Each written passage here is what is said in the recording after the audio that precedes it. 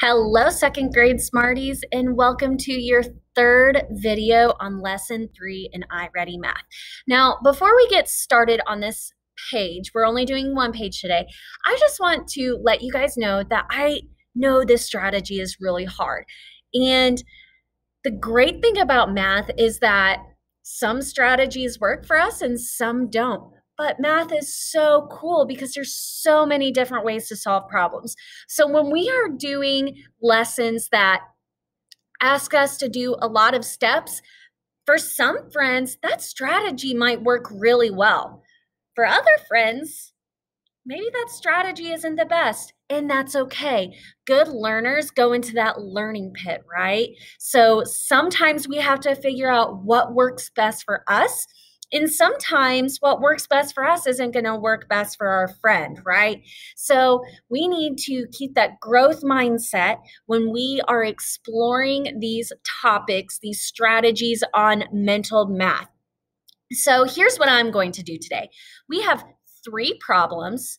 We have one problem that I am going to show you how to use a strategy, but then I'm going to use a different strategy to solve this problem too, because I can show different strategies and some work better for me than others. So let's go ahead and get started. So number 12, it says show to show how to make a 10 to find 6 plus 9. I am going to write over to the side for 6 plus 9. So 6 plus 9 equals blank. So here's what I'm thinking. I can break six into four plus two. Okay. And actually, I'm realizing that that is not going to work. Ooh, see, I have I have to think about how I can make a 10. See, and this is where this strategy gets tricky. Okay, well, I know 9 plus 1 makes 10, and I know I can make 1 and 5 with 6. So now here's what I'm going to do. I'm going to bring my nine down. I'm going to add my one. I'm going to circle my five so I don't forget it. And I know nine plus 10 equals five. Nine plus one equals 10. But I'm not done, right? I circled that five so I could come back to it. So now I'm going to keep going with my 10. I'm going to add that five and 10 plus 5 equals 15. Now, that strategy took me a little bit longer, right? If I already have it in my head that 6 can be broken into 1 and 5, I can make 9 plus 1 equal 10 and then add the 5 left over. That's amazing. That's understanding that's understanding our math facts, our fact families. That's beautiful. But sometimes that strategy is not going to work best for other friends. So here's what I'm going to do. I'm going to draw 6 plus 9 over here again. Okay, and this time I am going to make a number line. I'm going to start at 6 and count 9 more. Okay, so 6, 7, 8, 9, 10, 11, 12, 13, 14, 15. And I'm going to double check to make sure I had nine. So one, two, three, four, five, six, seven, eight, nine. So six plus nine equals 15. I can also, what's another strategy I could use? Compound and count, right? So 6, 7, 8, 9, 10, 11, 12, 13, 14, 15.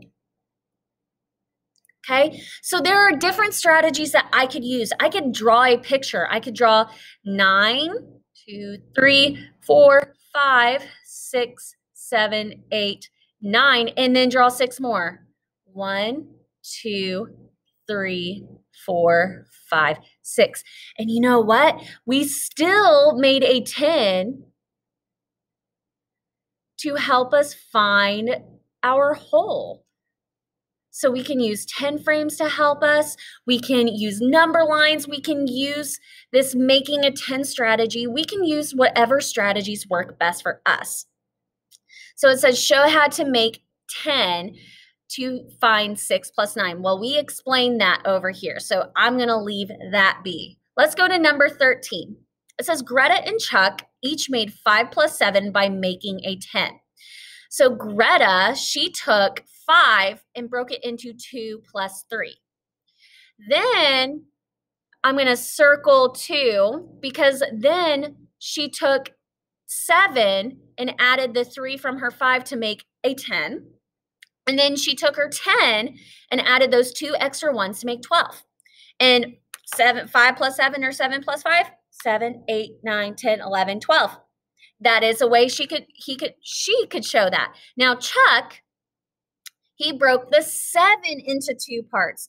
He knew that five plus two could make seven and he also knew that if he had five plus five that makes a group of 10 and then he didn't forget that two so he added 10 plus two more and seven plus five also made 12 so friends this strategy they both got the same answer and they both were able to make a 10, right? They were both able to break one of their parts into two smaller parts to help make a 10 and add the extra ones. Now, again, this strategy whew, works really well for some friends, but counting on is great too. Memorizing your math facts, that's amazing. Okay, so remember, use what works best for you. All right, it says Ming added 9 plus 8. See her work at the right. What did she do wrong? What is the correct answer? So it looks like Ming started by trying to make a 10, but then she added 8 more and got 18 and said that 9 plus 8 equals 18. So I'm going to draw, I'm going to erase this. Okay, so I'm going to draw 9 plus 8. Okay, so what Ming did first is she just added 9 plus 1. She didn't break 8 into parts. So we can break, break 8 into parts. So we could add 9 plus 1 to make 10. But what other part do I need to make that 8? I need 7, right? So this is where Ming got mixed up. She she started by not breaking eight into smaller parts. Okay, she had to break eight into smaller parts so she could make that 10. Okay, so then she could do 9 plus 1, but can't forget that 7 because we'll have to come back to it. 9 plus 1 equals 10. She wasn't done yet. We're going to add that 7, 10, 11, 12, 13, 14, 15, 16, 17. So 9, 10 plus 7 equals 17. So 10 plus 7 is the same as 9 plus 8. So Ming got 18 because she forgot to break that 8 into smaller parts. So she was off by 1. So Friends, this strategy is so tricky, but I am so proud of your growth mindset. Use what strategy is best for you. If counting on works for you, great. If drawing a picture works for you, amazing. Friends, do what is best for you and your learning. Okay.